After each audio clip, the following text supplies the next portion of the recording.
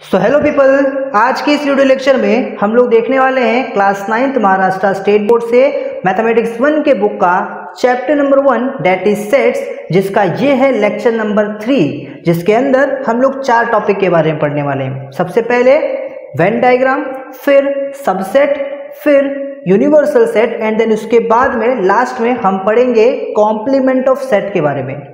तो ये जो वीडियो लेक्चर है, ये इन चार टॉपिक को कवर करने वाला है, ठीक है? इस वीडियो लेक्चर के अंदर हम इन चार टॉपिक को समझेंगे बहुत ही अच्छे तरीके से। ये जो वीडियो लेक्चर है ना, ये आपका प्रैक्टिस सेट 1.3 का बेसिक वीडियो लेक्चर है, ऐसा आप समझ सकते हो। इस वीडियो लेक्चर को समझने के बाद ही आप प्रैक्टिस सेट 1.3 को अच्छे से सॉल्व कर सकते हो। So without wasting any time let's jump right into the topic आइए समझते हैं सबसे पहले कि वेन डायग्राम क्या होता है। तो सबसे पहली बात वेन डायग्राम कोई एक बहुत टफ चीज़ नहीं है। इसे बनाया था जॉन वेन ने। जॉन वेन कौन है?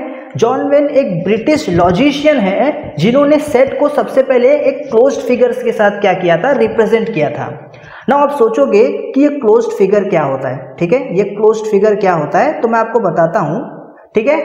क्लोज्ड फिगर यानी कि जो आप ऐसे शेप्स देखते हो ना जो शेप क्या होते हैं, पूरी तरह से क्लोज होते हैं। मतलब जहाँ से शुरू हुए, वहीं पर खत्म होते हैं। ऐसे टाइप के शेप को हम लोग क्लोज फिगर कहते हैं। जैसे अगर मैं एग्ज़ाम्पल दूँ आपको तो मान लो कि ये एक पॉइंट है, ठीक है? ये जो आप यहाँ पर देख रहे हो, ये एक पॉइंट है। इस पॉइंट से मैंने एक लाइन बनाया ऐसे, फिर एक लाइन बनाया ऐसे, और वापस उसी पॉइंट पे आ गया।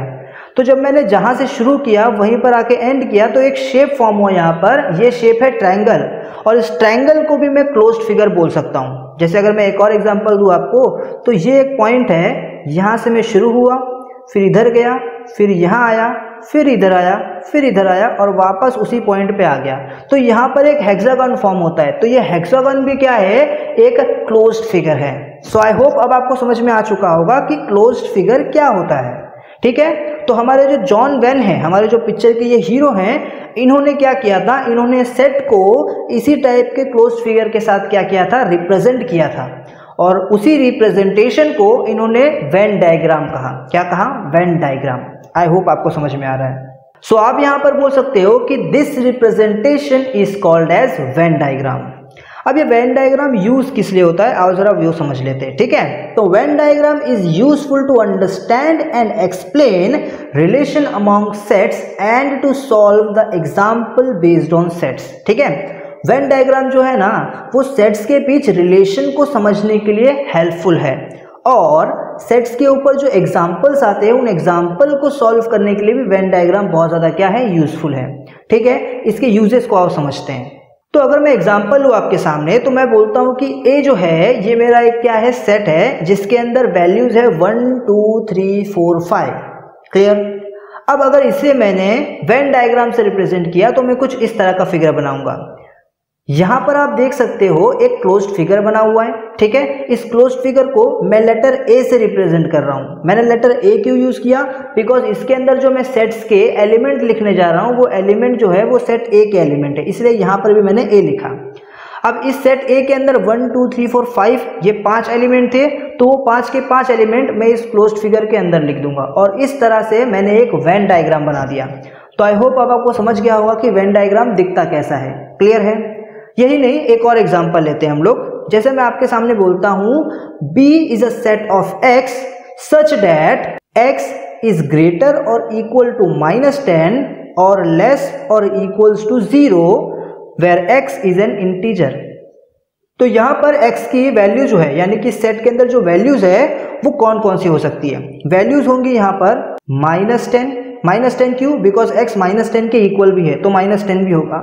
माइनस नाइन होगा, माइनस एट होगा, माइनस सेवन होगा, माइनस सिक्स होगा, minus five, minus four, minus three, minus two, minus one और ज़ीरो भी होगा, क्योंकि x जो है वो ज़ीरो के भी इक्वल है। तो ये कुछ आपके सामने वैल्यूज़ दिख रहे हैं जो कि x की हो सकती है, यानी कि इस b के अंदर इतने क्या है वैल्यूज़ हैं। अब अगर इन सारे नंबर्स को मैं क्लोज फिगर के अंदर लिख दूँ, कुछ इस तरह से तो मैं बोल सकता हूँ कि ये एक वेन डायग्राम है। तो देखो, ये मैंने वेन डायग्राम यहाँ पर बनाया है, इसके अंदर मैं क्या किया हूँ रेक्टेंगल का यूज़ किया हूँ। ठीक है? कुछ लोगों को लगता है वेन डायग्राम को आप सिर्फ़ सर्कल के साथ ही रिप्रेजेंट कर सकते हो तो ऐसा नहीं है। आप वेन डायग्राम को किसी भी क्लोज फिगर से क्या कर सकते हो? रिप्रेजेंट कर सकते हो। चाहे वो सर्कल हो, चाहे वो रेक्टेंगल हो, चाहे वो ट्रायंगल हो, या फिर हेक्सागन या पेंटागन या कोई भी क्लोज फिगर हो। ठीक है? क्लियर रहेगा? अब आगे बढ़ते हैं। तो अब हम लोग समझेंगे सबसेट क्या होता है। तो अगर मैं एग्ज़ाम्पल की बात करूँ तो if A and B are two given sets अगर आपके पास दो सेट हैं, एक का नाम है ए और एक का नाम है बी जैसे ए आपके पास एक सेट है, इस सेट के अंदर एलिमेंट है one two three four five six seven eight और बी आपके पास एक सेट है, जिसके अंदर वैल्यूज़ है two comma four comma six comma eight ठीक है? अब आपके पास ये दो एलिमेंट है। अब यहाँ पर अगर P के अंदर जो जो एलिमेंट्स है, वो सारे के सारे एलिमेंट आपको A के अंदर दिख जाए।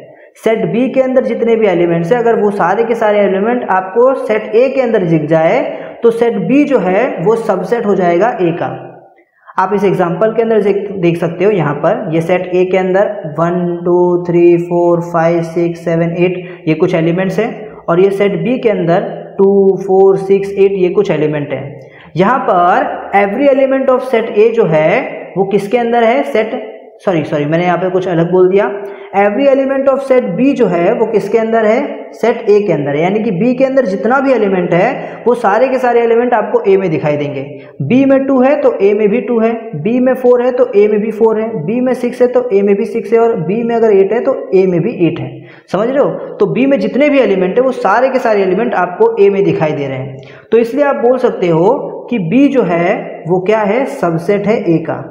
बी जो है वो क्या है? सबसेट है ए का। यहाँ पर ये जो आप ये वाला साइन देख रहे हो, ये सबसेट का साइन है। ये किसका साइन है? सबसेट का साइन है। ठीक है? सबसेट है ऐसा दिखाने के लिए इस साइन का आप यूज़ करते हो। यहाँ पर आपने पहले बी को क्यों लिखा सर क्या मैं ऐसा लिख सकता हूँ यहाँ पर? ए सबसेट बी तो नहीं, आप ऐसा नहीं लिख सकते यहाँ पे। यहाँ पर बी सबसेट ए ऐसा ही आप लिखोगे। और इसे रीड करोगे आप B is a subset of A ऐसा कहकर, या फिर बी सबसेट ए सिर्फ़ ऐसा कहकर। क्लियर रहेगा? ये दो तरीके से आप इसे रीड कर सकते हो। आप बोल सकते हो B is a subset of A या फिर आप बोल सकते हो B subset A I hope इतना समझ में आ गया होगा। फिर भी कंफ्यूजन होता है बच्चों को कि हम कैसे मतलब बी को पहले क्यों लिख रहे हैं। तो मैं आपको एक बात बताता हूँ, जो छोटा होगा, ठीक है? जो स्मॉल सेट होगा, जो स्मॉल सेट होगा, उसको आप क्या लिखोगे? हमेशा पहले लिखोगे, ठीक है? और जो बिग सेट होगा इसमें ठीक है? जो बड़ा सेट होगा, उसको हमेशा क्या करोगे आप? नेक्स्ट लिखोगे इसके बाद लिखोगे। तो ए और बी में बी छोटा था ना, इसलिए बी को मैंने पहले लिखा, ठीक है? ए बड़ा था ना, इसलिए ए को मैंने बाद में लिखा।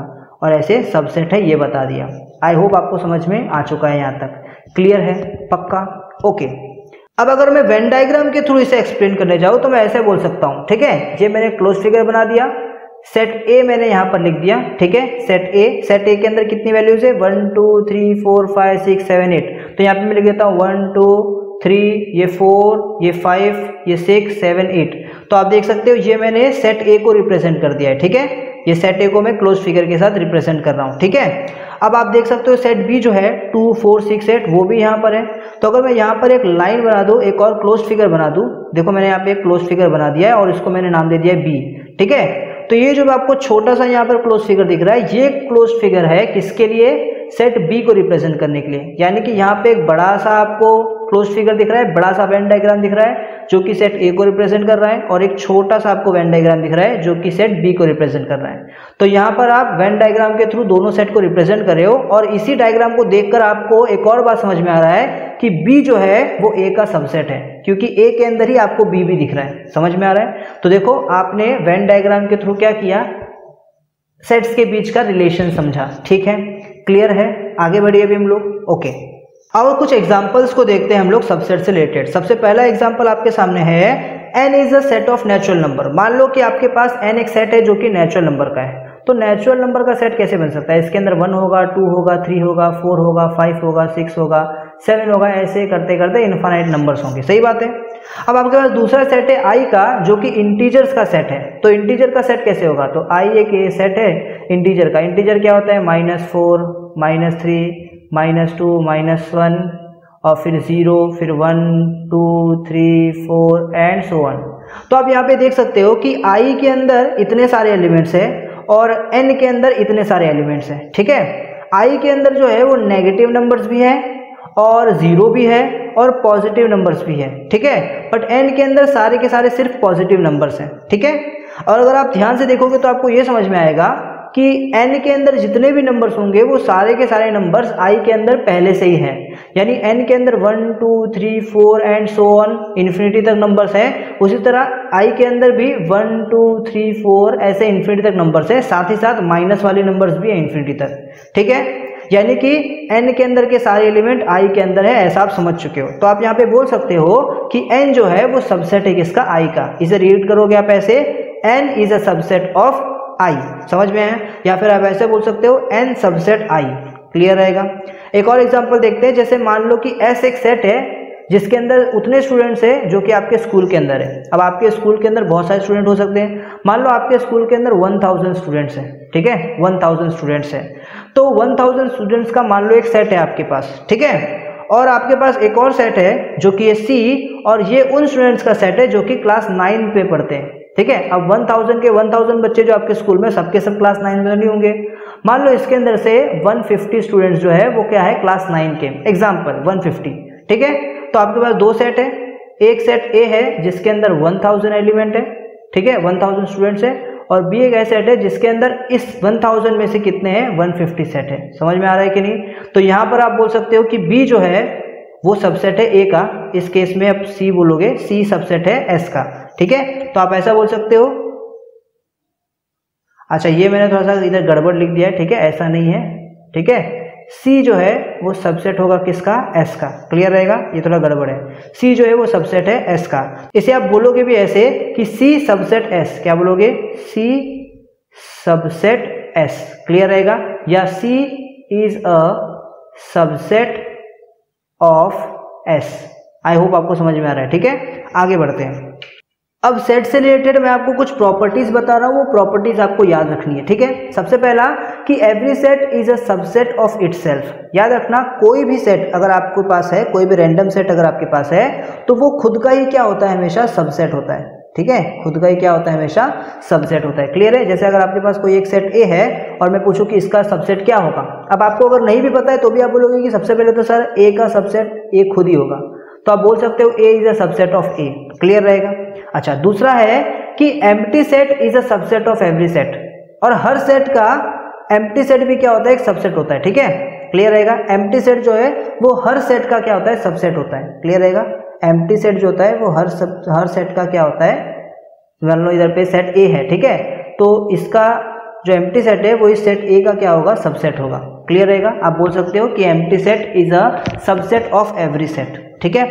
तीसरा चीज़ आप लोग याद रख सकते हो कि अगर ए और बी दो इक्वल सेट है ए और बी आपके पास दो इक्वल सेट है तो आप बोल सकते हो कि ए के अंदर जितने एलिमेंट है, वो एलिमेंट बी के अंदर होंगे और बी के अंदर जितने एलिमेंट है, वो ए के अंदर होंगे, है ना? तो ए जो है वो बी का सबसेट है और बी जो है वो ए का सबसेट है, ठीक है? ऐसे टाइम पे आप बोल सकते हो ए जो है वो सबसेट है बी का और बी जो है वो सबसेट है ए का। क्लियर रहेगा?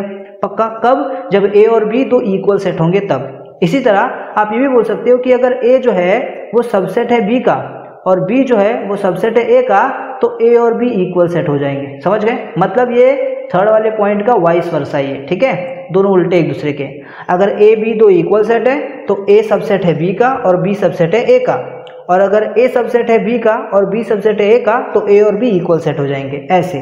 क्लियर रहेगा? ओके अब आगे बढ़ते हैं और यूनिवर्सल सेट समझते हैं। तो यूनिवर्सल सेट को समझने के लिए एक एग्जांपल देता हूँ आपके सामने, ठीक है? जैसे मान लो आपके पास एक सेट है ए जिसकी वैल्यूज़ है one two three four five अब आपके पास एक और सेट है, उसकी वैल्यूज़ है बी सिक्स सॉरी अब आपके पास एक और सेट है, जिसकी वैल्यूज़ है six seven eight nine ten और एक और सेट है, जिसकी वैल्यू है eleven twelve thirteen fourteen fifteen clear एक सेट है ए उसके अंदर आपको एलिमेंट्स दिए हुए हैं one two three four five एक और सेट है आपके पास बी जिसके अंदर एलिमेंट्स दिए हुए हैं six seven eight nine ten और एक और सेट है आपके पास सी जिसके अंदर वैल्यूज़ दिए हुए हैं eleven twelve thirteen fourteen fifteen ठीक है? अब आप सोचो कि क्या कोई एक इतना बड़ा सेट हो सकता है, जो इन तीनों सेट को अपने अंदर क्या कर ले एकोमोडेट कर ले? ठीक है? क्या कोई एक ऐसा बड़ा सेट पॉसिबल है, जो क्या करे, जो इन सारे सेट्स के सारे वैल्यूज़ को अपने अंदर क्या कर ले एकोमोडेट कर ले। क्या ऐसी कोई सेट हो सकती है? सो so, यस yes, मान लेते हैं कि U एक ऐसा ही सेट है जिसके अंदर इन तीनों सेट्स की वैल्यू है ठीक है? यानी कि वन वन सेट ए के अंदर है टू सेट ए के अंदर है थ्री सेट ए के अंदर है फोर सेट ए के अंदर है फाइव सेट ए के अंदर है। Six seven eight nine ten ये सेट बी की वैल्यूज़ है। Eleven twelve thirteen fourteen fifteen ये सेट सी की वैल्यूज़ है। तो ये जो आपको सेट यू दिख रहा है ये ए बी और सी तीनों की एलिमेंट्स को अपने अंदर रखता है। समझ में है तो ऐसे टाइम पे इस यू को हम लोग बोलेंगे कि यू जो है, वो एक यूनिवर्सल सेट है। यू क्या है? यू एक यूनिवर्सल सेट है। तो यूनिवर्सल सेट एक इतना बड़ा सेट होता है, जिसके अंदर ना, जो छोटे छोटे सेट्स होते हैं ना, उन सबकी वैल्यूज़ क्या होती है? एकोमोडेट होती है। उन सबकी वैल्यूज़ उसके अंदर कंसिस्ट करते हैं। उन सबकी एलिमेंट्स उसके अंदर कंसिस्ट करते हैं। आई होप आपको इस एग्ज़ाम्पल के साथ समझा होगा। अब आइए इसी को हम वेन डायग्राम के साथ समझते हैं। ठीक है? जैसे मैं बोलता हूँ कि यहाँ पर आपको एक बहुत बड़ा क्लोज फिगर दिया गया है। ये आप देख रहे हो ग्रीन कलर का। ये जो आपको इतना बड़ा शेप दे रहा है, ये क्या है? एक क्लोज फिगर है, ठीक है? ये रेक्टेंगल शेप जो है आपको दिख रहा है यहाँ पर, ठीक है? ये जो आपको यहाँ पर ये एक रेक्टेंगल शेप दिख रहा है, मान लो ये रेक्टेंगल शेप क्या है? क्लोज फिगर है। मान लो क्या है वो क्लोज फिगर और ये यू से रिप्रेजेंट किया गया है, ठीक है? अब यहाँ पर आपके पास तीन जो है सेट है। ये पहला सेट ए दूसरा सेट बी तीसरा सेट सी ठीक है? ये तीन सेट है जो वैन डायग्राम के थ्रू रिप्रेजेंट किए गए हैं। आप देख सकते हो ए बी सी और आप देख सकते हो तीनों के तीनों सेट जो है वो यूनिवर्सल सेट के अंदर, यानी इस रेक्टेंगल के अंदर है। ठीक है? तो इस तरह से आप क्या कर सकते हो? यूनिवर्सल सेट को रिप्रेजेंट कर सकते हो। यू जो है, उसको रिप्रेजेंट कर सकते हो। याद रखना यूनिवर्सल सेट जब आप बनाओगे वेन डायग्राम में जब आप यूनिवर्सल सेट बनाते हो तो वो आप ना एक रेक्टेंगल के हेल्प से बनाओगे, ठीक है? तो आप बोल सकते हो the universal set is denoted by U ये तो हमको पता ही है but Venn diagram is represented by a triangle sorry triangle बोल रहा हूँ रेक्टेंगल ठीक है? यानी यूनिवर्सल सेट का जो वेन डायग्राम है, वो हमेशा रेक्टेंगल से ही रिप्रेजेंट किया जाता है। क्लियर है? यहाँ पे जो आपको बड़ा सा रेक्टेंगल दिख रहा है ये क्या है? ये यूनिवर्सल सेट है, ठीक है? जिसको हमने नाम यू दिया हुआ है, ठीक है? क्योंकि यूनिवर्सल सेट यू से डिनोट किया जाता है। क्लियर है? पक्का? ओके और यहाँ पर ये भी याद रखना कि ए बी सी जो है, वो सबसेट है इस यूनिवर्सल सेट के, ठीक है? क्योंकि यू के अंदर ही क्या आता है? ए आता है बी भी आता है और सी भी आता है। तो हम ये बोल सकते हैं कि ए जो है, वो सबसेट है यू का बी भी सबसेट है यू का और सी भी सबसेट है यू का। क्लियर रहेगा? पक्का? ओके तो अभी हम लोग समझेंगे कि कॉम्प्लीमेंट ऑफ़ अ सेट क्या होता है, ठीक है? ध्यान से समझना, ज़्यादा डिफ़िकल्ट नहीं है, कोई प्रॉब्लम नहीं होगी आपको समझने में, ठीक है? डेफिनेशन की अगर मैं बात करूँ तो डेफिनेशन लिखा है इफ़ बी सबसेट यू ठीक है? आपके पास एक सेट है बी जो कि सबसेट है यू का, ठीक है? मतलब यू के अंदर यू एक बहुत बड़ा सेट है, और यू के अंदर जो एलिमेंट्स है, वो एलिमेंट्स बी के अंदर भी है, ठीक है? क्लियर रहेगा? नहीं समझा? चलो एग्ज़ाम्पल देता हूँ। मान लो यहाँ पर आपको एक सबसेट सॉरी यहाँ पर आपको एक सेट दिख रहा है यू दिखा? अब इस सेट के अंदर वैल्यूज़ क्या क्या है? वन है टू है थ्री है फोर है फाइव है सिक्स है सेवन है एट है नाइन है और टेन है. क्लियर अब यहाँ पर मैं एक और सेट बनाता हूँ बी अब इस बी के अंदर वैल्यू क्या क्या है? वन है टू है थ्री है फोर है फाइव है. क्लियर अब one two three four five जो कि एलिमेंट्स है बी के ये सारे के सारे एलिमेंट्स आपको यू के अंदर भी दिख रहे हैं। सही बात है? है ना? तो आप यहाँ पर बोल सकते हो कि बी जो है, वो सबसेट है यू का। क्लियर अब ऐसे टाइम पे अगर आप एक सेट बनाओ, ऐसे टाइम पे अगर आप एक सेट बनाओ जो कि सेट यू के एलिमेंट्स है। किसके? सेट यू के एलिमेंट्स है। यानी कि ये सारे के सारे एलिमेंट्स का अगर आप एक सेट बनाओ बट यहाँ एक कंडीशन है। Which are not the elements of set B अब इस, ये जो सेट मैंने बोला यहाँ पे, ये जो मैंने यहाँ पे इतना बड़ा आपको सेट बना के दिखाया, अब इसके अंदर जो जो बी के एलिमेंट्स है, उनको हटा दो। बी के कौन कौन एलिमेंट है? वन है। उसको हटाओ टू को हटाओ थ्री को हटाओ फोर को हटाओ फाइव को हटाओ। ठीक है? तो six seven eight nine ten का अगर आप एक सेट बना देते हो तो यहाँ बना देता हूँ। Six seven eight nine ten का मैंने यहाँ पे एक सेट बना दिया। ठीक है? तो ये जो आपको दिख रहा है, ये जो सेट आपको दिख रहा है, इसको आप बोलोगे कॉम्प्लीमेंट ऑफ़ बी क्या बोलोगे? कॉम्प्लीमेंट ऑफ़ बी क्लियर है? तो एक और बार अगर आपको बताऊँ तो मैं यहाँ ऐसा बोल सकता हूँ कि B is a subset of U. यानी कि B के अंदर जितने भी एलिमेंट्स हैं, वो सारे के सारे एलिमेंट्स आपको U के अंदर मिलेंगे।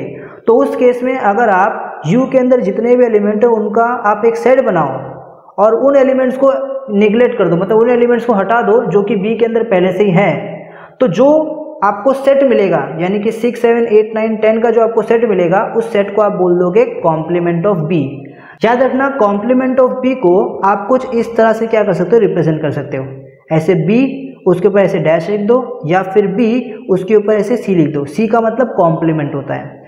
क्लियर रहेगा यहाँ तक? पक्का?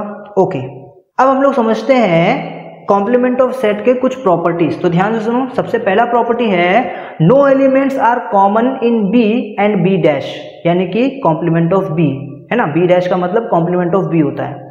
तो बी और बी डैश के अंदर आपको कोई भी एलिमेंट सेम नहीं मिलेगा, ठीक है? कॉमन मिलेगा ही नहीं। मतलब बी के अंदर कुछ और है और बी डैश के अंदर कुछ और है, ठीक है? सेट बी के अंदर कुछ और है और कॉम्प्लीमेंट ऑफ़ सेट बी के अंदर कुछ और है।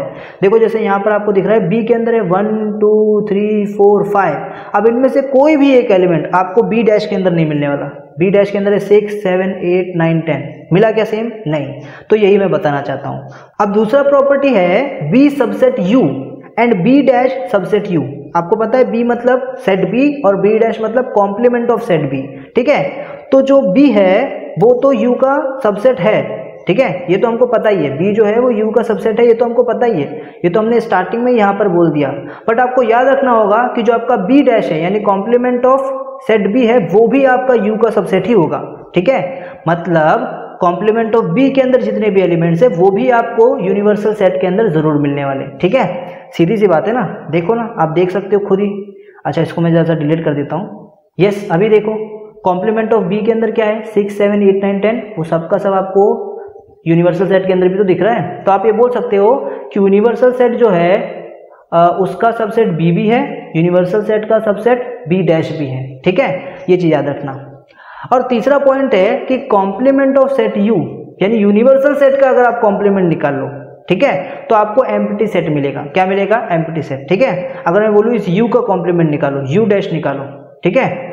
तो यू के अंदर क्या है? One two three four five six seven eight nine ten ये सब एलिमेंट है। अब इस, ये सब एलिमेंट के अलावा जितने भी एलिमेंट है इसके अंदर, उनका आप क्या बना दो? सेट बना दो। तो उसके अलावा तो कोई सेट ही नहीं है। मतलब उसके अलावा तो कोई एलिमेंट ही नहीं है है ना? One two three four five six seven eight nine ten अब एक ऐसा सेट बनाओ जिसके अंदर ये सब की सब वैल्यूज़ नहीं होनी चाहिए। तो मैं क्या बना देता हूँ? मैं एक एम्प्टी सेट बना देता हूँ। एम्प्टी सेट क्या है? एक ऐसा सेट है जिसके अंदर ये सारी वैल्यूज़ नहीं है। तो मैं बोलूँगा कि एम्प्टी सेट जो है, वो मेरा क्या है? कॉम्प्लीमेंट है। किसका? यूनिवर्सल सेट का। समझ रहे हो? चलो बढ़िया। तो याद रखना सीधी बात है कि यूनिवर्सल सेट का जो कॉम्प्लीमेंट है, वो एम्प्टी सेट होता है। ठीक है? और लास्ट पॉइंट जो बहुत ज़्यादा इंपॉर्टेंट है, वो याद रखना कि कॉम्प्लीमेंट ऑफ़ एम्प्टी सेट जो होता है, वो हमेशा क्या होता है? यू ठीक है? अगर आपके पास एक एम्प्टी सेट है, मान लो कि बी एक एम्प्टी सेट है, ठीक है? इसके अंदर कोई भी एलिमेंट नहीं है। और मैं बोलूँ, इसका एक कॉम्प्लीमेंट बताओ। तो आप बोल दोगे कि यस इसका कॉम्प्लीमेंट यूनिवर्सल सेट है। इसका कॉम्प्लीमेंट क्या है? यूनिवर्सल सेट ठीक है? यू यू क्या है आपका? यूनिवर्सल सेट है। यूनिवर्सल सेट है। क्लियर रहेगा क्या? पक्का? कोई डाउट यहाँ तक नहीं है? Okay so this is all about complement of set इस वीडियो में हम लोगों ने ये चार टॉपिक समझा. Venn diagram subset universal set और complement of set I hope आपको ये टॉपिक समझ में आ गया होगा. अब मैं मिलता हूँ आपसे नेक्स्ट वीडियो लेक्चर में जिसमें हम लोग प्रैक्टिस सेट 1.3 कंप्लीट कर रहे होंगे. तो तब तक के लिए